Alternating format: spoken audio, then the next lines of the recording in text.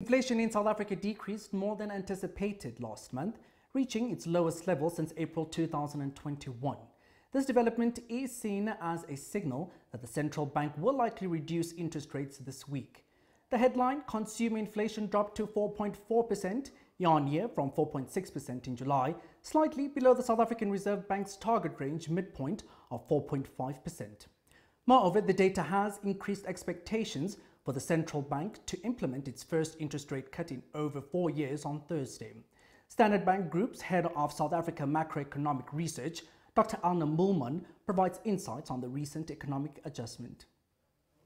The decline in consumer inflation in August was exactly in line with our forecast, although slightly below some economists' expectations. Perhaps the most important aspect of this data is that it reflects a generally benign inflation picture. So it's not only about the easing in headline inflation and reasonably low core inflation, but we've also seen in this data set in particular a decline in prices in several categories.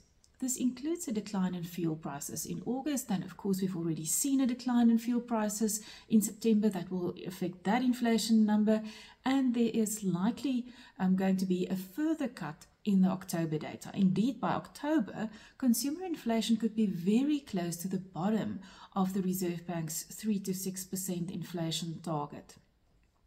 This benign inflation picture, of course, creates scope for the Reserve Bank to cut interest rates, but we still think that it will be a gradual and very shallow interest rate cutting cycle, and we still foresee only 1% of cumulative interest rate cuts in the next few meetings.